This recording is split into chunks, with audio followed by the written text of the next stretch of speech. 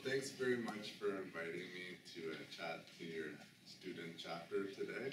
I think um, my topic today is going to be on climate change and how that's impacting public transit systems, namely in Canada, but we'll speak to like, it's happening everywhere in the world. So the cases I'm going to talk about are relevant in other countries as well. And basically, we're going to cover how can you adapt your public transit systems combat against some of these impacts from climate change. So, you want to know a bit about the firm I work for? My name's Nick Roberts, and I work at CPCS. So we're a consulting firm that specializes in transportation and infrastructure projects.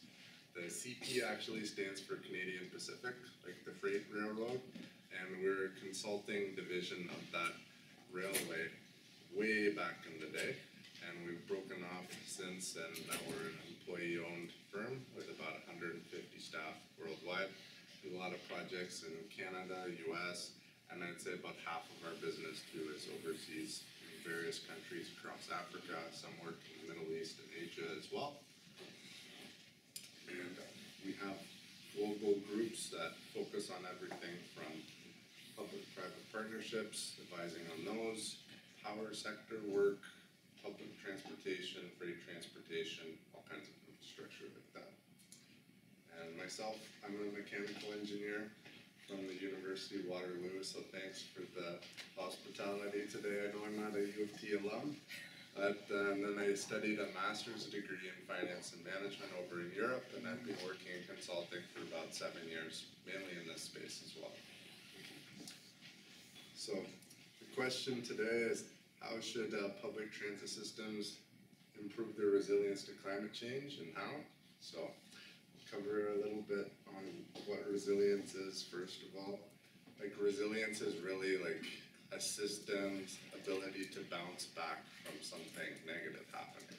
So say there was one of those atmospheric rivers out west, a lot of rain came down, flooded a section of the railroad track where it got washed out. It's like resilience is a how like, how strong that railway can be built to resist that in the first place, and then also the time to recover it back to its operational state after that flood happens. Like the earthquake in Japan where they could just start the trains the next day or something? Yeah, so that would be a highly resilient system.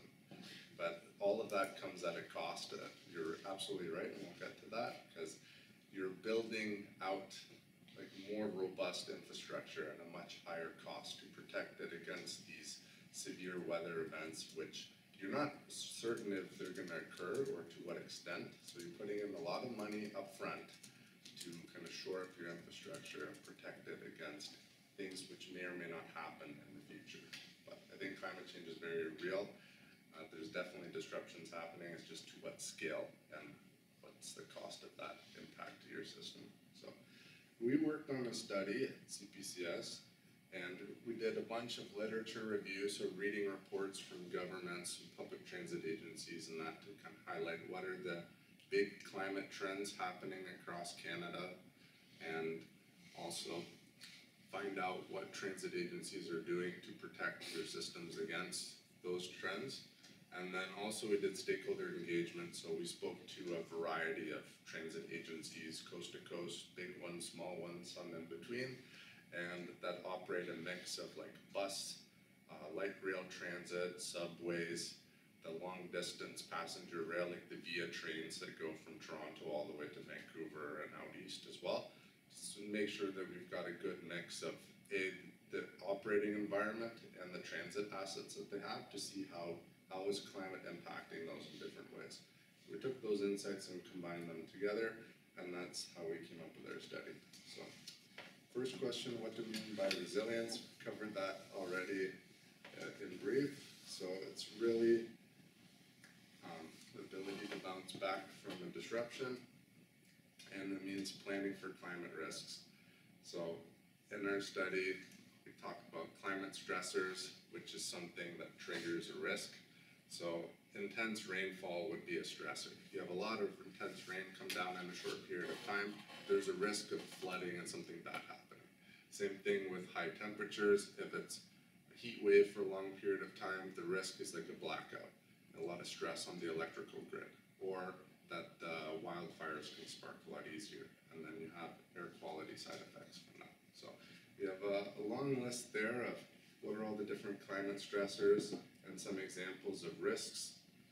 And really, like your risk mitigation, how you protect your systems against these stressors, it goes back to understanding what's happening in the climate and in your public transit system. So a couple examples of different stressors, we'll go through these. Unfortunately, you may be aware that uh, Canada's climate warming at roughly double the global average, especially out west and then northern parts of the country. So that's exposing uh, systems to a lot of risk. We, the result of these higher temperatures is more high intensity rainfall, melting permafrost, which is up north where the ground is usually frozen solid all year long. That's melting now and is becoming a bit more mushy, for lack of a better word, and that affects the stability of things that are built on top of the permafrost. And then uh, the next one, another couple examples is with all of this higher temperatures, higher moisture content in the air, it's giving rise to a lot more kind of severe weather, like thunderstorms. Like earlier this week, we're all here probably experienced some loud thunder and lightning in the GTA. That's one of the hot spots for thunderstorms in Canada. And all of that, like you need to build out infrastructure to be protected more against lightning strikes and power outage risks. And then also, there's, we don't see it often, but the risk of hail coming down, so those big ice pellets, and those can cause a lot of damage as well. Another stressor, we talked about heat. Uh, so that's the risk of wildfires. Uh, this past summer, we saw that out west, a lot of those wildfires sparking led to big air quality issues all the way across Canada into the US and some of it even migrated across over to Europe. So this chart here is showing from the Calgary airport how many hours of smoke, they call smoke hours, they have seen each year. And basically the main takeaway is a huge spike at the end, which is basically where we are now. So it's becoming more problematic. And of course, poor air quality not only impacts like your physical assets in the transit system, like ventilation on board buses and subway trains and that, but also the health risks of people who are working to operate those vehicles and also the comfort for passengers who are on board the transit vehicles. So, Another example here is despite it getting hotter in general, there's uh more kind of erratic weather patterns. You have these polar vortex or cold snaps where large masses of Arctic air moves down south. So there is still a risk of severe, very cold weather temperatures, which can impact like the structural integrity of some components that are used in transit systems like track for railways, because in cold weather, like the steel can become brittle, subject to cracking, and there's kinds of regulations that are used for like mitigating that if you're operating trains in cold weather conditions. So those are examples in Canada, but of course, you know, we're global and th- these, these problems are not unique to Canada. Like I mentioned, CPCS does a lot of work in Africa. Africa's got a lot of climate change impacts that are impacting their public transit systems as well. There's a few shown on this slide. And really, just similar to Canada, they're both vast geographic regions. So climate change issues in one region could be very different from another.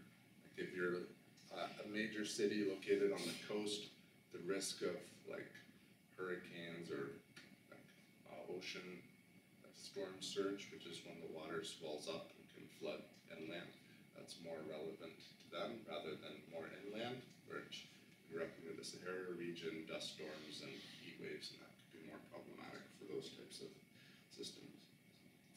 So I'll just say, uh, summarizing the climate stressors that we look at, basically all of them are, are going up, except for the snow and the cold, which are going down, but again, subject to those irregular weather patterns, it still might be a, a concern. These stressors, they vary in frequency and severity, so how often they may occur and how like severe, like how bad the weather is. Um, there's, we see growing populations everywhere, a lot of people moving to urban centers and that. So that places more stress on public transit systems to be able to handle, A, the increase in population, but also disruptions that may happen from climate change as well. So we have mitigation in terms of reducing greenhouse gas emissions that are going into the atmosphere, which is great. A lot of them shift to like electric buses, electric vehicles and that. But there's another side of it, which is looking at adaptation, so how to improve the infrastructure that's there. So what does climate change mean for public transit systems?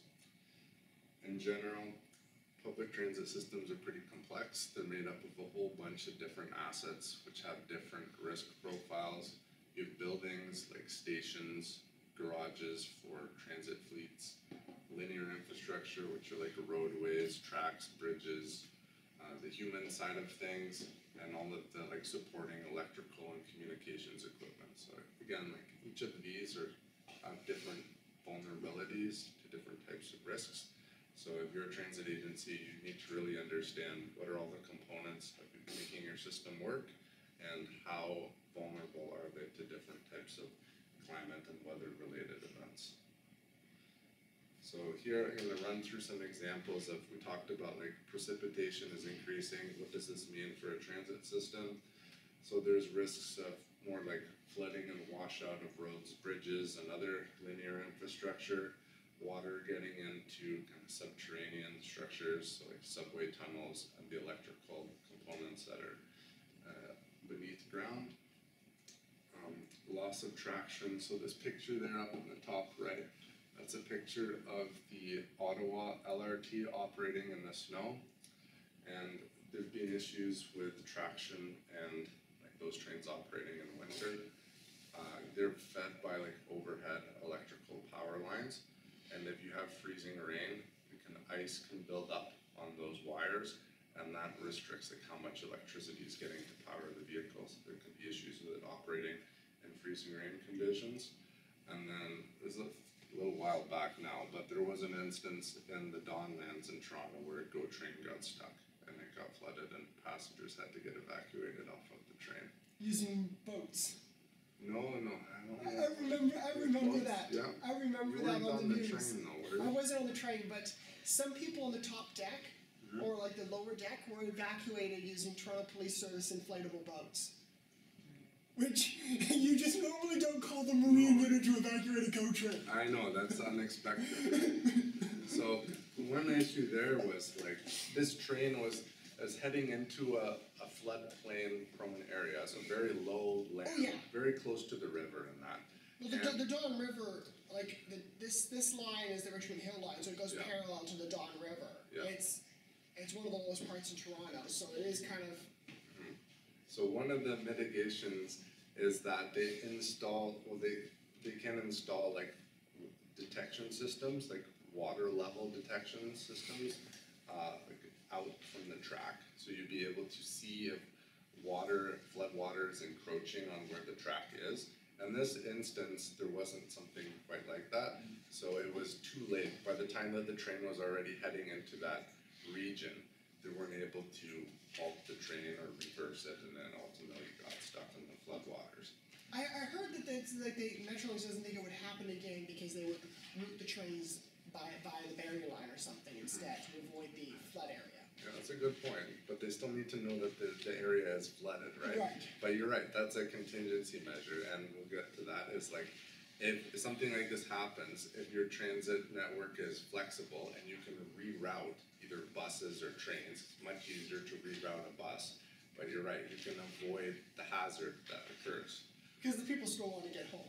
You Yes. know, they, they don't know exactly like the idea of, oh, I'm gonna sleep at my office tonight. Yeah. Go- yes, question, Kiko? Yeah, uh, I'm just curious about how good the resolution is on like the predictions that um, like climate scientists give for, let's say, the future effects. Like, is it good enough that you can actually plan for a hundred more millimeters of rain, I don't know, twenty fifty, or you just know that it's gonna rain more, but you don't know how much it's gonna rain. Good point.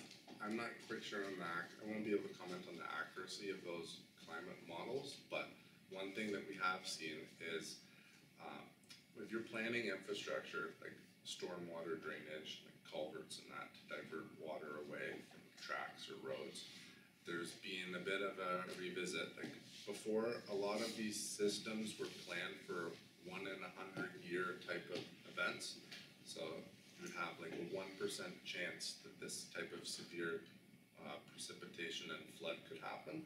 And now they're revisiting that to be like a one in fifty year event, so they're planning for something like that would occur more frequently, more severe, so that means that they have to build like the culverts a bit bigger, improve the drainage system, maybe like oversize it a bit to accommodate those events.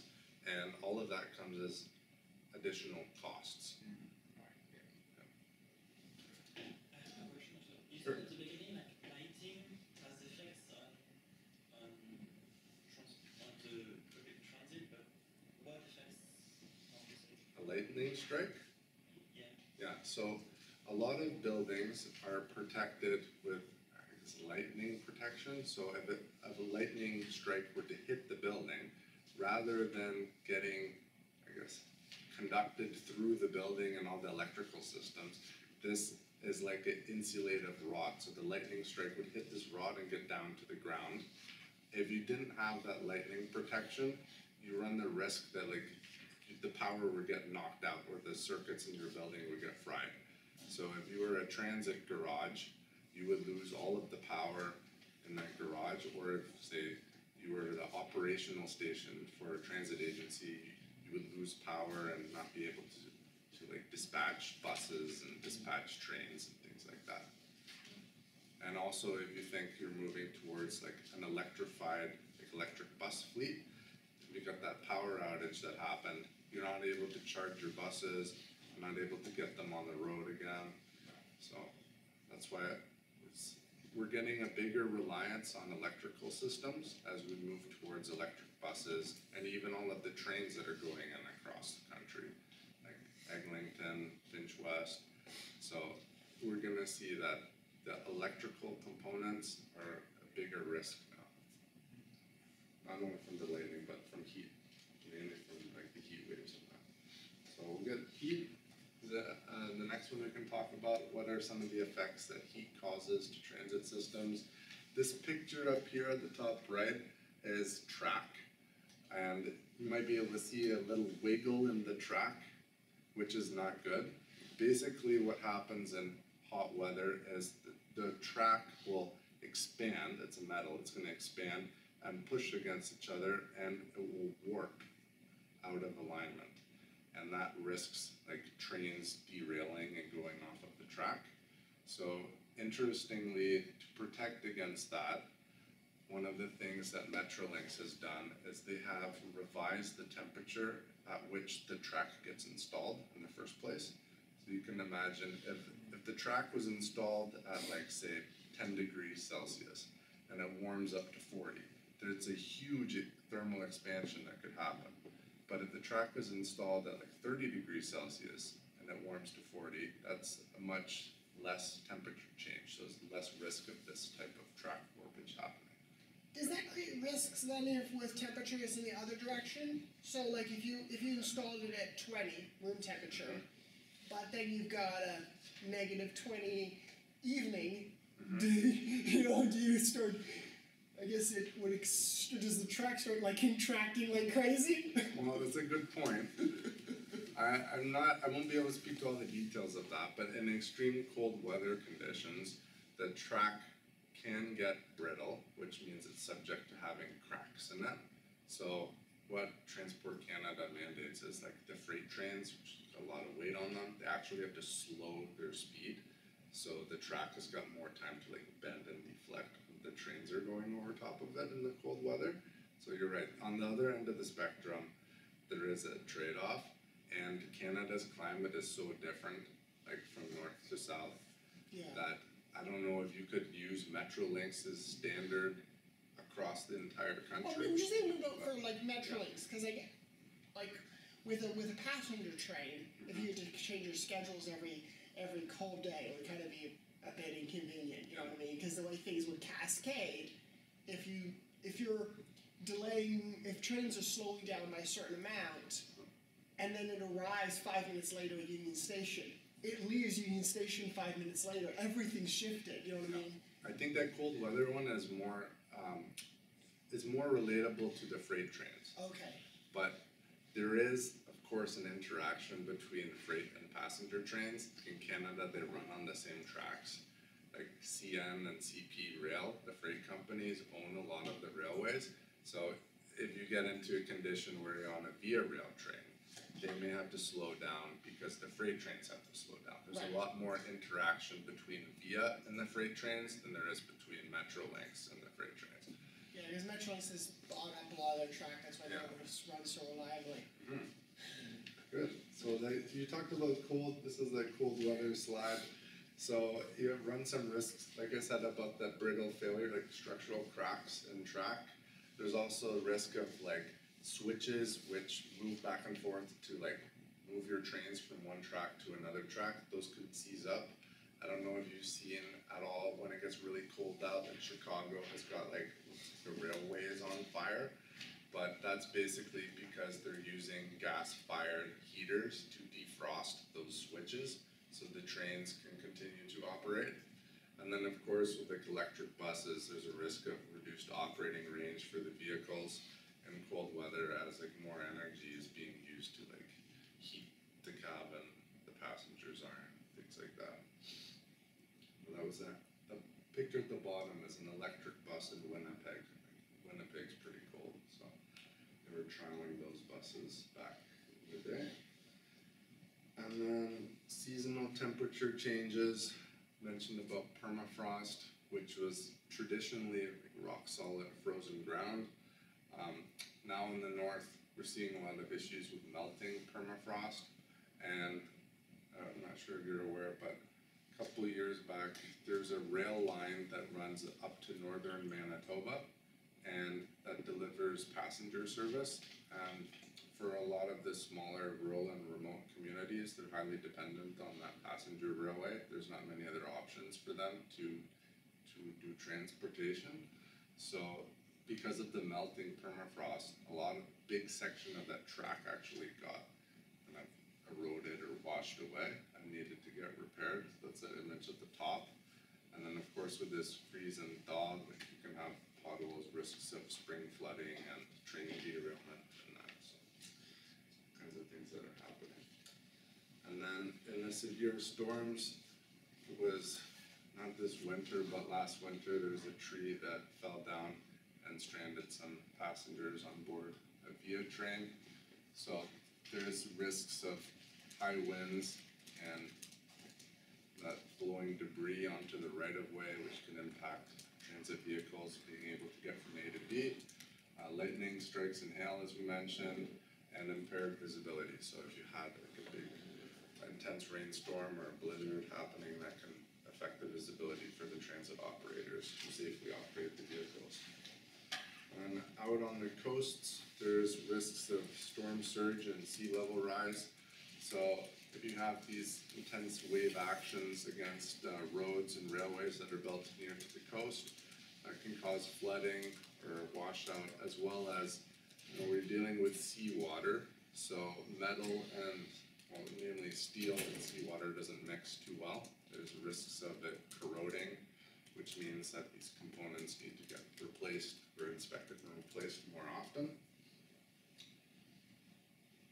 So those are all the climate trends, but on the other side of things, our public transit systems are not staying the same. There's changes in them that are happening, which is causing greater like vulnerabilities as well in certain areas.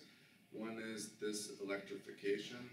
So there's a greater link between um, dependencies on the electrical grid and being able to deliver your transit service. And also the battery electric buses and that tend to be heavier vehicles and there's a relationship between vehicle weight and road damage. So you have a lot more heavier vehicles operating, it's a bigger risk for potholes and need for maintaining the road. So there's also a lot, number of um, passenger rail projects that are becoming electric. There's work on electrifying the GO service. And also a bunch of light rail transit projects happening across namely southern Ontario, but those are all powered by electricity. Um, so another thing is public-private partnerships, so those are often used to deliver transit projects, building new ones and that. And of course, if you're a contractor and you're going to say build out a new railway or, or LRT system, these projects take a long time, I'm sure you might be aware. And if you are expecting certain costs for building that piece of infrastructure, that may not account for future changes in the climate, which might make it more costly to build your infrastructure or maintain it in the future. So there's kind of that dynamic to see how can that risk of climate change be shared by the two contracting parties. Also like insurance risks, so like if something does happen, who's at fault for how much and things like that. That picture is the high-speed rail in California, which is getting built, they're only working on the phase one right now. It's gonna take a long time for all of the Millennium projects and that to connect basically the Bay Area to Southern California and that. So that's an example of a really long duration project, which there needs to be like a lens on risk sharing between public and private entities. Uh, another thing to look at too is transit systems are often used to respond to climate, uh, climate emergency, climate events. So when they had wildfires up in Fort McMurray in Alberta, there was a bunch of transit buses from the local transit agencies that were used to evacuate people from those northern communities that were impacted by the wildfires. And also TransLink, which is the agency out of Vancouver, uh, in heat wave conditions, they actually use their bus fleet, portion of that for moving kind of vulnerable populations, like the elderly and that, uh, people without air conditioning to kind of cooling centers. So there's that dynamic of uh, using your public transit systems to help in these types of events as well. So in our work, kind of looked at that long list of what were all of the climate risks and stressors that were happening and funneled it down to what we kind of thought were the, the top couple. And we thought that uh, extreme heat and intense precipitation, those seem to be the top of mind concerns for transit agencies because it's happening kind of on a wide geographic scale, happening across uh, across countries, across Canada, and that, and both of them are projected to increase in severity frequency. Whereas some of the other ones, like I mentioned, the permafrost melts, uh, storm surge, and that they could be highly impactful, but there are in specific geographic regions, whereas the heat and the precipitation tend to be across Canada. So what do we need to do to adapt differently? Uh, looking at risk, risk is basically a, a product of vulnerability. So how vulnerable is that asset? So an example is a, a diesel bus versus an electric bus. An electric bus would be much more vulnerable to heat-related power grid disruptions than a diesel bus would, because you need it for charging the vehicles. And then, uh, so that's the vulnerability side. On the criticality is like how critical is that asset for you delivering your transit service? Uh, a rail line would be much more critical than a bus because transit agencies say they have hundreds of buses, they often keep spare buses in case one breaks down. So it's much easier to swap in and out assets, whereas a rail line, like a lot of the light rail trains, they need to operate on that rail line, so there's a disruption, it really impacts your service. So climate change adaptation is really taking action to reduce the vulnerability of these systems to actual or expected changes in the climate. And then, as I talked a little bit about before, you've kinda got two things happening which is impacting the risk profiles of transit systems. One is the assets themselves are changing, so you have a lot of aging infrastructure like bridges or roads or that that need to get rehabilitated. Like the Gardiner Expressway project, see there's a lot of works going on on that, that would be an example of that case. And uh, system electrification with the buses or say hydrogen fuel cell buses coming in as well, which all have got different risk profiles. And then on the other side, you have the environmental conditions which are changing. And that uh, gives rise to different uh, risks for transit systems. So what can we do? First section is hardening or protecting infrastructure. So this is like using different materials or different designs, more robust designs, to kind of build up the systems stronger, or using kind of detection mechanisms to early detect the hazards that might be happening and take action to uh, mitigate against them. That one picture up there, we talked about the GO train flooding. That's one of the sensors. This detects rockfall hazards, so if there was rocks that slid down and were obstructing the track, this thing would be able to uh, detect that. It's like a laser beam, shoots across the track. So if it gets broken, then you know that there's hazards up ahead, and then that way, uh, the passengers. Those systems are so fascinating. Yeah, the trains can be, you know, appropriately managed until the hazards are out of the way. And the bottom one is just a picture of a bunch of big culverts getting installed to manage uh, the drainage risks of flooding. So that's one. There's a couple other examples listed up there as well. How to harden and protect infrastructure.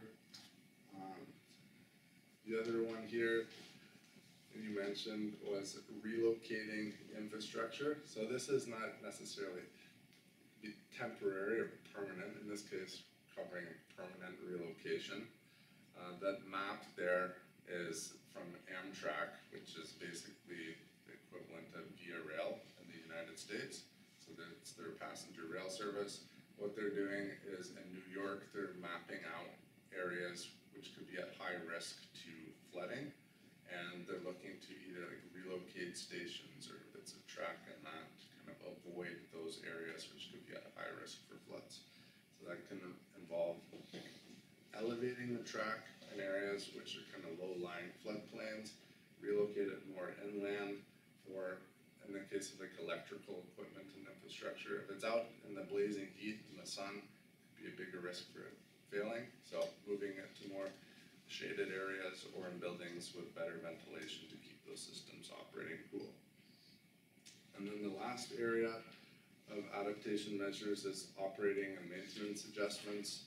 So can be more frequent inspections and that, or different mechanisms. We talked about the ice buildup on the catenary wires to clear off the ice, uh, clear off the track. There's this big snow blowing truck there that's used to clear the track in Edmonton for their light rail system. And another one is in the heat. Uh, in California, as an example, they have tensioning mechanisms. So when it gets hot, those catenary electrical wires tend to sag in the heat, and that's not good for the trains that are operating. So the tensioning mechanism really like turns and tightens up the wires, brings them tight like a guitar string, so you don't have that risk of operating in hot weather conditions. And then, of course, another one is having backup power available.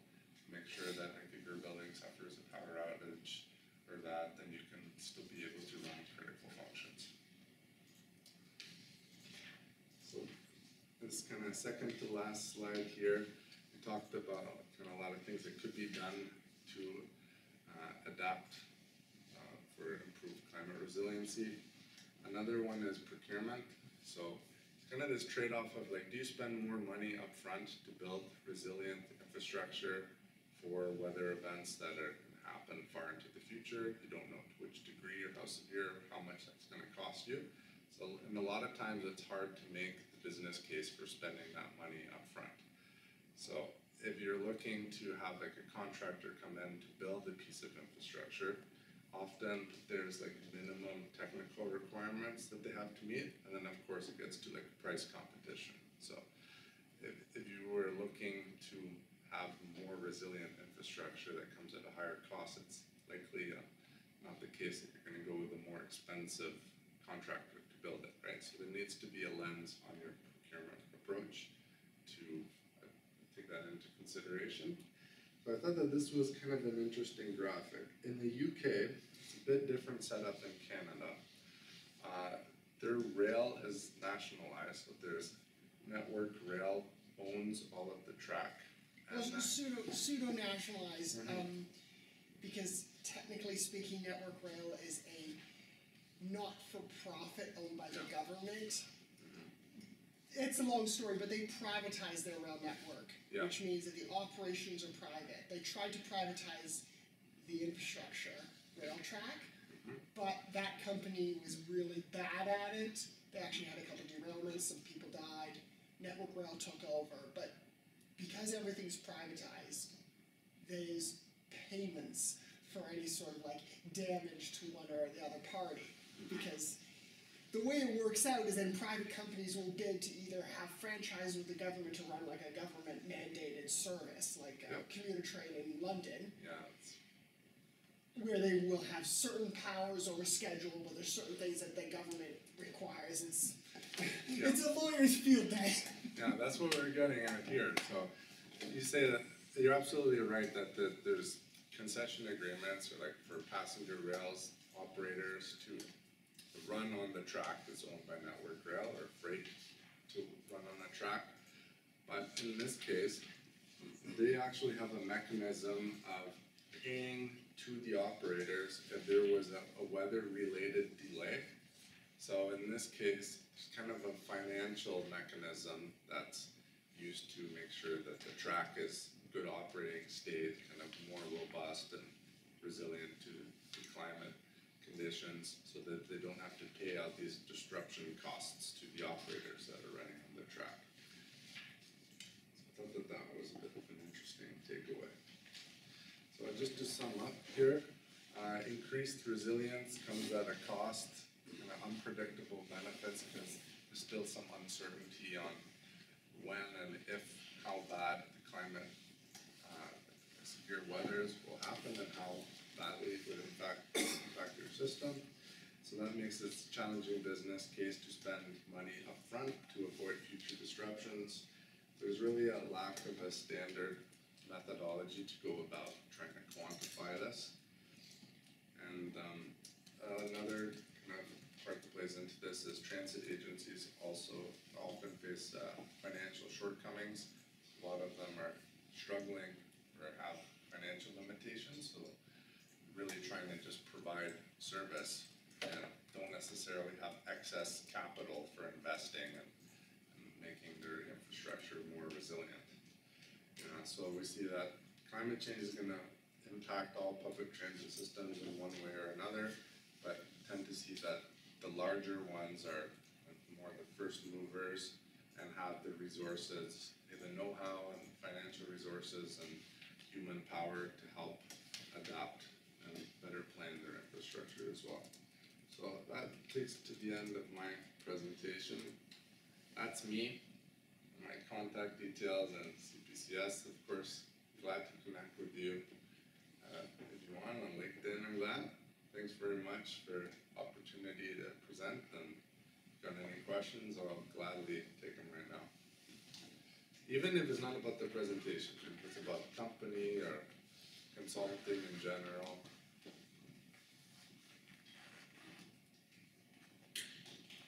The, the UK utility arbitration thing can be funny because there's some there's been some funny disputes like Network Rail and a rail operator just up had a dispute over whether a peacock was a big bird. Because if it's a big bird on the line, it's the infrastructure owner's fault. If it's a small bird, it's the railway operator's fault if there's a delay. so is it a big bird?